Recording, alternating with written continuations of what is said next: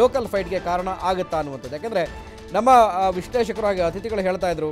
So ಈ ಒಂದು local fight ಸಾಕಷ್ಟು. ಯಾಕೆಂದರೆ ನಾವು M L A, M P ಎಲೆಕ್ಷನ್ಗಳನ್ನು ಆರಾಮಾಗಿ ಎದುರಿಸಬಹುದು. ಆದರೆ ಈ ಎಲೆಕ್ಷನ್ ಇದೆಯಲ್ಲ, ಸೊ ಇದು ಅತ್ಯಂತ ತಲೆನೋವಿನ ಕೆಲಸ ಅನ್ನುವಂಥದ್ದು ಕೂಡ. ಯಾಕೆಂದರೆ ನಿಜ, ಯಾಕೆಂದರೆ ಈ ಒಂದು ಲೋಕಲ್ ಬಾಡಿ ಎಲೆಕ್ಷನ್ ಏನಿರುತ್ತೆ, ಸಾಕಷ್ಟು ಜಿದ್ದಾಜಿದ್ದಿನಿಂದ ಕೂಡಿರುತ್ತೆ, ಪ್ರತಿಷ್ಠೆಯ ಕಣ ಆಗಿರುತ್ತೆ. ಒಂದೊಂದು ಮನೆ